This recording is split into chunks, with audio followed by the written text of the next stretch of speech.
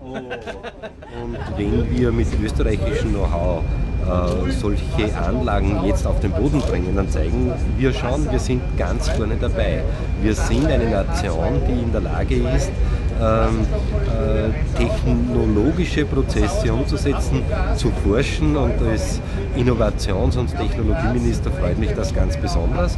Und wir müssen jetzt auch den Mut haben, äh, in einer Pilotanlage das zu probieren, neue Erfahrungen zu sammeln, hinzuschauen, den Forschern auch den Raum zu geben, weitere Erfahrungen zu sammeln. Das tun wir hier, das ist ein bisschen riskant, aber nur wenn man dieses Risiko eingeht, kann sich Neues entwickeln. Die Zielvorstellung ist, dass wir Energie erneuerbar äh, nutzen können, viel stärker. Das schafft Unabhängigkeit äh, für den österreichischen Standort.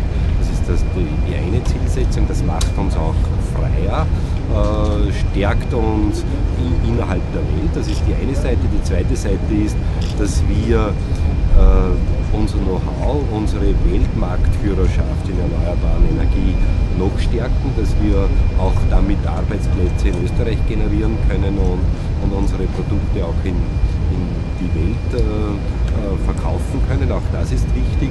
Letztendlich geht es darum, dass wir äh, umweltfreundlichere Energieformen haben. Das beginnt bei, den, bei der klassischen Energie, geht bis hin zu äh, den Themen der Mobilität wenn wir äh, elektrische Energie oder Windenergie speichern können und das für Antriebe äh, zum Beispiel des Autos verwenden können, dann ist das äh, für alle Menschen gut. Und in diese Forschung zu investieren, das macht mir Freude und ich halte das für eine ganz wichtige Aufgabe, die das BMWI